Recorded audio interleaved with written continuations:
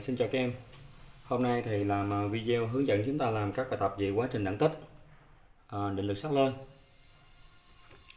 Thì đầu tiên là trước khi giải bài tập á, thầy nhắc lại nè, quá trình đẳng tích là quá trình biến đổi trạng thái khi thể tích không đổi. Định lực sắc lên trong quá trình đẳng tích của một lượng khí nhất định áp suất tỷ lệ thuận với nhiệt độ tuyệt đối. Thì chúng ta chú trọng nè, B tỷ lệ thuận với T và chúng ta sẽ sử dụng công thức là B1 trên T1 bằng B2 trên T2 để chúng ta giải bài tập. Ok chưa? Thì à, thầy không nói nhiều tại vì à, đây là dạng tiếp theo à, về chất khí. Chúng ta học dạng 1 rồi. Bài 1 một bình kính có thể tích không đổi thể tích không đổi trong quá trình đẳng tích nha. À, chứa khí lý tưởng áp suất 1,5 x 10 mũ 5 Pascal. Đây là B1 nè. Và nhiệt độ là 20 độ C là T1 nè tìm áp suất trung bình khi nhiệt độ tăng tới 40 độ C đây chính là T2 nè. Ok chưa? Thì uh, chúng ta có thể là uh, tóm tắt hai cột cũng được.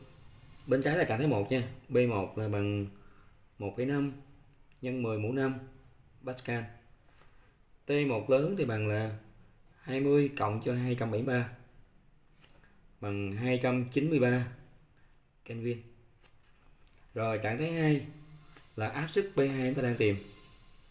T2 lớn sẽ bằng là nhiệt độ sao là 40 cộng với 273 K bằng 313 Kelvin. Ok chưa? Như vậy chúng ta nhớ công thức nè. Trong quá trình đẳng ờ, tích là B1 chia cho T1 bằng B2 trên cho T2. Chúng ta thấy số vô. B1 là 1,5 nhân 10 mũ 5 T1 là 293 bằng B2 đang tìm. T2 là 313 Ok chưa? Đến đây chúng ta sẽ suy ra được B2 bằng 313 dục lên. 1,5 nhân 10 mũ 5 nhân cho 313 và chia cho 293 khi bấm máy á, là chúng ta để 10 mũ 5 lại viết lại nha đừng bấm vô. 10 mũ 5 thì viết lại nè. Ok chưa? Như vậy trên tử thì chỉ bấm là 1,5 nhân với 313 và chia cho 293 bằng bấm XD 1,602 vậy là 1,602 10 mũ 5 thì viết lại nha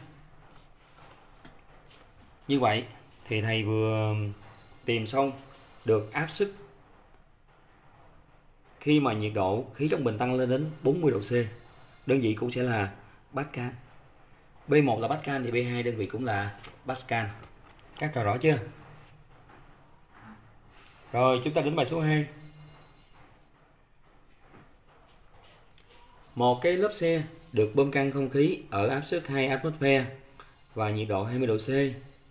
Hỏi lớp xe chịu được áp suất lớn nhất. À, xin lỗi cái này là không phải hỏi. Mời đề bài cho nè. Bỏ chữ hỏi đi. Lớp xe chịu được áp suất lớn nhất là đây là B maximum nha. Là 2,4 atmosphere. 2,4 atmosphere. Hỏi lớp xe có bị nổ? Không, khi nhiệt độ tăng lên đến 42 độ C. Ok chưa? Như vậy thì chúng ta tóm tắt ra nè. B1 là nhiêu? 2 ATM. Nhiệt độ T1 lớn là bằng T1 nhỏ cộng 273 nè. 20 cộng 273 ra 3 293 nè. Kelvin. B2 chưa biết. Nhiệt độ T2 là 42 độ C T2 lớn bằng T2 nhỏ cộng cho 273 nè 42 cộng 273 ra là 315 Kelvin Ok chưa? Chúng ta sẽ áp dụng công thức của quá trình đẳng tích nha. Đó. Bánh xe là thể tích coi như không biến đổi nha. Chúng ta có B1 chia T1 bằng B2 chia cho T2 Chúng ta thấy lại P1 là 2 T1 là 293 bằng B2 đang tìm. T2 là 315 bấm shift show hay chuyển vế thì game B2 bằng.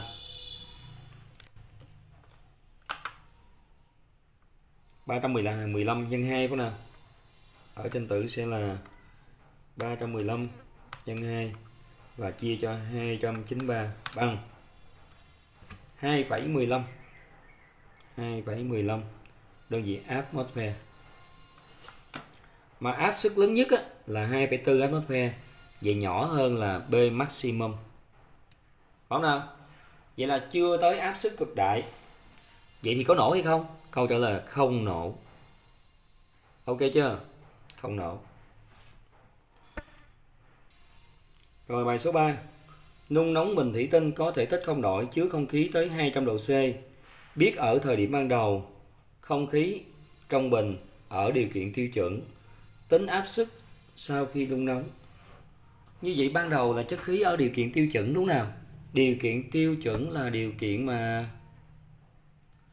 Đây, ban đầu là trạng thái 1 nha, trạng thái 1 đây trạng thái 2 điều kiện chuẩn là áp suất B1 bằng 1 atmosphere và nhiệt độ là 0 độ C, tức là T1 lớn sẽ là 0 cộng 23 sẽ ra là 273 Kelvin. Học thuộc luôn nha. Điều kiện chuẩn. Điều kiện chuẩn tức là T1 sẽ là 273 Kelvin rồi, khi mà nung nóng tới 200 độ C, mình tính T2 lớn, sẽ bằng T2 nhỏ cộng 273 200 mà cộng 273 ra là 473 Kelvin nhiệm vụ mình tính B2 bằng chấm hỏi. Ok chưa?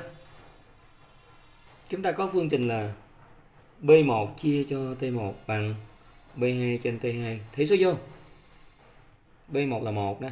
T1 là 2,3 B2 đang tìm nè T2 là 4,73 chuyển 4,3 lên ta được là B2 sẽ bằng 473 nhân 1 và chia 2,73 bằng.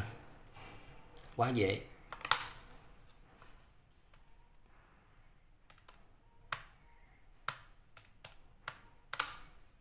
ST 1,7326 26 đơn vị tất nhiên là là là, là atmosphere rồi.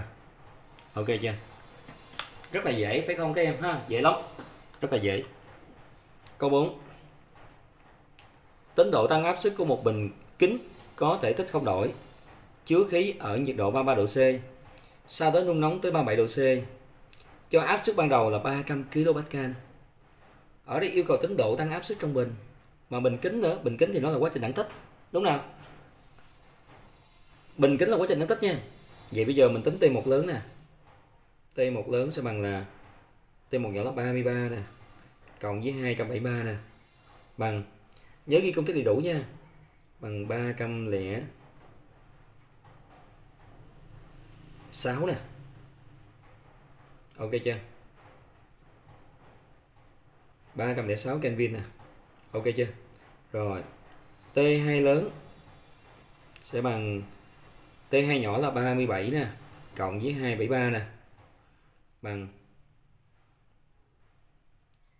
310 Kelvin nè. Ok chưa? B1 có rồi. Áp suất ban đầu nè. B1 là 300 kPa vậy chúng ta tính B2 cho thầy bằng bao nhiêu? Ok chưa? Lại sử dụng công thức là B1 chia T1 bằng B2 trên T2 tương đương B1 là 300 nè.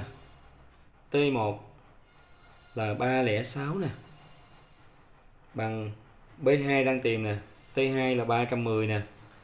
Như vậy dễ dàng chúng ta tính được B2 rồi. Bằng, bấm máy cho thầy coi. 310 nhân 300 310 nhân 300 này chỉ là nhân nha. Chia cho 306 bằng 303,92 303,92 kPa mà nhiệm vụ tác giả yêu cầu chúng ta tính độ tăng áp suất chứ không phải tính B2 vậy độ tăng áp suất delta B sẽ lấy là B2 trừ cho B1 303,92 mà trừ cho 300 sẽ ra 3,92 kPa à, các em rõ chưa Như vậy thầy trò chúng ta vừa hoàn thành xong câu số 4. Quá dễ phải không nào? Rất là dễ. Rồi chúng ta đến câu số 5. Bài số 5. Một bình kính có thể tích không đổi. Chứa khí ở nhiệt độ 27 độ C. Nhiệt độ trong bình tăng thêm một lượng bao nhiêu? Biết áp suất ban đầu và sau lần lượt là 1 và 2,5 atmosphere. Như vậy thì nhiệt độ tăng thêm bao nhiêu là tính delta T? Không nào? Ừ, tính T1 lớn thì T1 lớn bằng à, 27 cộng cho 273. Độ C đổi sang Kelvin là cộng 23 nha, là bằng 300 Kelvin. Ok chưa? Rồi.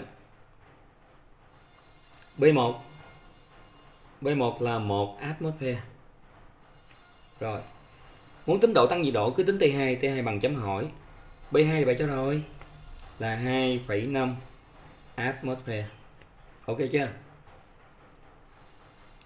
ATM nha. Chúng ta có B1 chia T1 bằng B2 trên T T2 tương đương B1 là 1 T1 là 300 bằng B2 là 2 B2 đang B2 là là 2,5 chia cho T2 đúng nào vậy chúng ta tìm được T2 rồi. Bằng 300 nhân 2,5 ra 750 Kelvin. Bây giờ nhiệm vụ chúng ta tính độ tăng nhiệt độ là delta T lớn bằng T2 lớn trừ T1 lớn bằng thôi này khỏi bấm máy quên chứ. 750 mà trừ 300 750 trừ cho 300 bằng 450 Kelvin. Đồng ý chưa? Đó chúng ta lưu ý giùm thầy nè ở đây là delta t lớn nó sẽ bằng delta t nhỏ. Ok chưa? Nếu mà tính độ tăng nhiệt độ theo Kelvin là 450 Kelvin còn nếu tính độ tăng nhiệt độ theo độ C cũng là 450 độ C. Biết tại sao không? À, chúng ta nhìn nè là T1 lớn thì bằng T1 nhỏ cộng cho 273 T2 lớn thì bằng T2 nhỏ cộng cho 273 chúng ta lấy phương trình dưới trừ phương trình trên thì chúng ta được là T2 lớn trừ T1 lớn, thì nó sẽ bằng là 23 trừ 23 mất, đúng không? Là T2 nhỏ trừ T1 nhỏ. Nên delta T lớn lại bằng delta T T nhỏ. Ok chưa? Đây là cái điều mà thầy lưu ý ở bài số 5 nha. Bài số 6 một bóng đèn dây tóc chưa sáng, chứa khí lý tưởng ở 27 độ C tức là trạng thái 1 còn khi bóng đèn phát sáng ở 105 độ C áp suất thay đổi một lượng là 0,2 atmosphere. Tính áp suất bên trong bóng đèn trước khi thắp sáng tức là tính B1 phải không nào? Bây giờ chúng ta tính T1 lớn nè T1 lớn bằng T1 lớn bằng T1 nhỏ cộng 273 đúng nào? 27 cộng 273 chúng ta được T1 lớn bằng 300 Kelvin ok chưa? Rồi. Áp suất ban đầu là B1 chưa có. Kệ nó. Đồng ý chưa? Trong quá trình đẳng tích á, bóng đèn là quá trình đẳng tích như các em ha. Áp suất tỷ lệ thuận với nhiệt độ tuyệt đối. Nên nhiệt độ tăng lên đến T2 là 105 độ C thì T2 lớn sẽ là 105 cộng với 273 T2 lớn sẽ bằng là 378 Kelvin ok chưa? Rồi áp suất thay đổi một lượng 0,2 tức là B2 sẽ bằng B1 cộng với 0,2 atmosphere. Nhớ nghe trong quá trình đẳng tích áp suất tỷ lệ thuận với nhiệt độ tuyệt đối. Nên khi mà nhiệt độ tăng áp suất tăng nên B2 thì ghi là B1 cộng với 0,2 ok chưa? Chúng ta có phương trình là gì? Là B1 chia T1 bằng B2 chia cho T T2 tương đương B1 để nguyên. T1 là bao nhiêu? Là 300 bằng B2 mình sẽ viết là B1 cộng chứ không phải 2 chia tới 2 là 378 đúng nào? Bây giờ bấm shift show, chúng ta tìm coi B1 bao nhiêu. Nãy với thầy bấm shift show đấy. B1 đặt là x nha. Rồi. B1 là alpha x nè. Thầy bấm máy tính dở lắm em ơi alpha x nè T1 là 300 nè rồi alpha bằng nè B1 cộng 0,2 là alpha x cộng 0,2 nè. Nhớ bấm máy tính tất cả các biến đặt là x nha.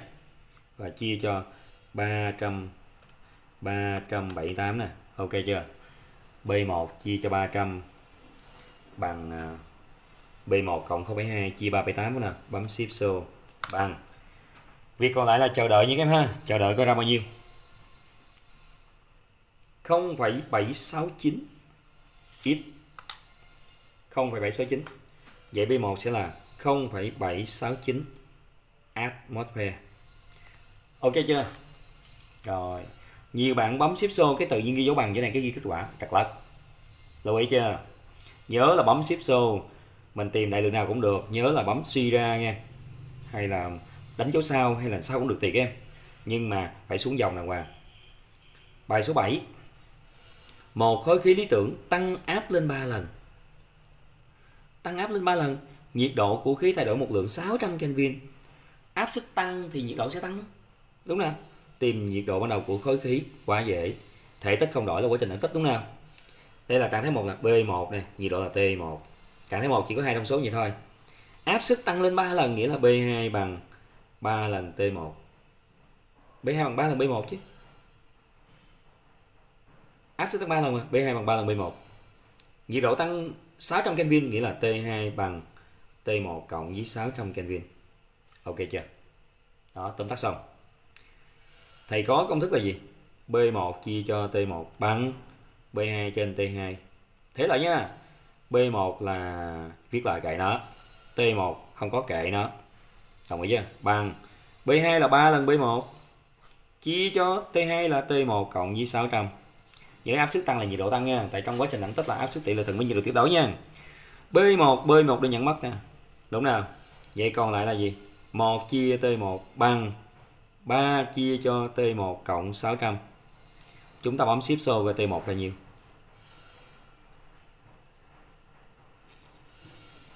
cái này thầy nhẩm được nha. T1 là 300 á.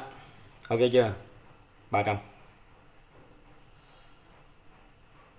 300 Kelvin mà đi, giả sử như chúng ta làm trắc nghiệm đi, mà ra mà 300 Kelvin không có đáp án thì chúng ta đổi sang t một nhỏ. T một nhỏ sẽ bằng t một lớn trừ cho 273 ok chưa? Vậy thì 300 trừ 273 sẽ ra là 27 độ C. Ok chưa? Rồi, chúng ta vừa hoàn thành xong bài số 7 rất là dễ, phải không nào? Chúng ta đến bài số 8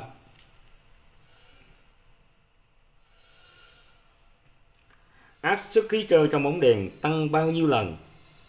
Nếu nhiệt độ đèn tắt là 25 độ C, đèn sáng là 323 độ C. Vậy trạng thái 1 là đèn tắt, trạng thái 2 đèn đèn sáng. Ok chưa? Ở đây có nhiều cách giải lắm. Trạng thái 1 là T1 lớn sẽ bằng T1 nhỏ cộng 273 bằng 25 mà cộng 23 các em bấm coi.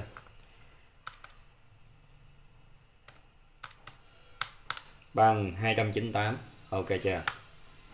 298 Kelvin. Trạng thái 2 là T2 lớn bằng T2 nhỏ là 323 cộng với 273 bằng 323 cộng 273 có nào? 323 thì ghi lộn này. 323 cộng 273 bằng 596 596 như các em ha. 596 Kelvin. Và áp suất trạng thái 1 tức là B1 áp suất trạng thái 2 là B gì? B2 ok chưa? Hồi nãy giờ mình cứ viết một trước hai sau nào. Quá trình đẳng tích mình có quyền ghi là B2 trên T2 sẽ bằng B1 chia cho T T1 ok chưa? Đến đây mình sẽ suy ra B2 sẽ bằng B1 nhân với T2 và chia cho T1 như vậy thế là nè B1 viết lại nè. T2 là 596 T1 là 298 bấm máy 596 chia 298 ra số quá đẹp luôn, là số 2 thì có nghĩa là B2 sẽ bằng 2 lần B B1 có nghĩa là áp suất tăng 2 lần. Các tàu rõ chưa? Áp suất tăng 2 lần. Chúng ta đến câu số 9 khi đun nóng đẳng tích một khối khí thêm 1 Kelvin thì áp suất tăng thêm 1 phần 360 áp suất ban đầu. Như vậy thì nếu nhiệt độ tăng thêm 1 Kelvin thì áp suất tăng thêm 1 phần 360 áp suất đầu. Vậy trạng thái 1 là B1 nè, nhiệt độ là T1 nè. Nhớ nha, trong quá trình đẳng tích chúng ta chỉ tóm tắt B với T thôi. Áp suất tăng thêm 1 phần 360 nghĩa là B2 bằng B1 cộng với 1 phần 360. Nhiều bạn ghi tới đây là dừng lại cắt đất 1 phần 360 của B1. Ok chưa? Bằng. Chúng ta có thể là rút B1 ra, còn lại 1 cộng với 1 phần 360 bấm máy, sẽ ra 361 chia 360 B1 viết lại. Ok chưa? Và khi mà áp suất tăng thêm 1 phần 360 thì nhiệt độ tăng thêm 1 Kelvin, có nghĩa là T2 lớn sẽ bằng T1 lớn cộng đúng 1 Kelvin. Ok chưa? Rồi, chúng ta viết công thức ra. T no no, no thầy ghi lộn đấy. B1 chia cho T1 bằng B2 chia cho T T2 B1 không có để nguyên. T1 không có để nguyên. Bằng B2 là mình thấy là 361 B1 chia cho 360 ở dưới mẫu này sẽ là là là là là, là T2 mình sẽ thấy là T1 cộng với lại là 1 ok chưa thì chúng ta sẽ đơn giản B1 đi vậy tương đương, chúng ta còn lại 1 trên T1 sẽ bằng 361 chia 360 chia cho T1 cộng với 1. Nhiều khi vậy chúng ta khó nhìn chỗ nào. Chúng ta chuyển T1 cộng 1 lên sang đây, lên tử nha. Chúng ta được là T1 cộng cho 1 chia cho T1 bằng 361 chia 360.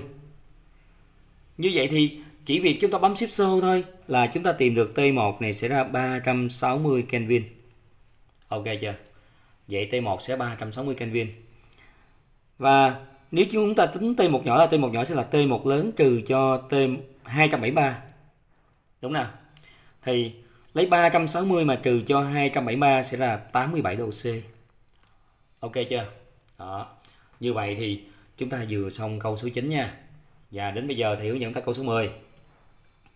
Một bóng đèn dây tóc chứa khí cơ ở 27 độ C dưới áp suất 0,6 atmosphere khi đèn cháy sáng, áp suất trong đèn là một atmosphere và không làm vỡ bóng đèn.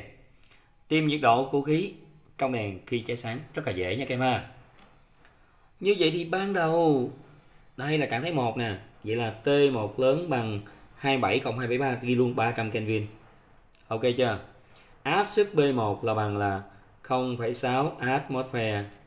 Ok chưa? Rồi. Khi mà đèn sáng áp suất là B2 là bằng 1 atmosphere và không làm vỡ bóng đèn mình tính nhiệt độ T2 bằng chấm hỏi nhớ nghe bóng đèn có chứa không khí và lượng khí trong đèn là biến đổi đẳng tích nha chúng ta có phương trình là gì? Là B1 chia T1 bằng B2 chia cho T2 tương đương. B1 là 0,6 chia T1 là 300 bằng B2 là 1 chia T2 là đang tìm đúng nào? Như vậy dễ dàng chúng ta tìm được T2 lớn thôi. Bằng xử lý đơn giản thôi là T2 lớn người tạo lại sẽ là 300 chia 0,6 thành 500 500 Kelvin ok chưa vậy chúng ta tính luôn T2 nhỏ luôn cho thầy bằng T2 lớn trừ 273 bằng 500 trừ cho 273 sẽ bằng 227 độ C. Ok chưa? Như vậy thầy vừa hướng dẫn chúng ta giải tất cả là 10 câu à, bài tập về cái quá trình đẳng tích nha. Thì video của thầy đến đây là kết thúc. Thì video kế tiếp thầy sẽ hướng dẫn chúng ta học về cái uh, các bài tập trong quá trình đẳng áp. À, ờ, thầy xin chào các em nha.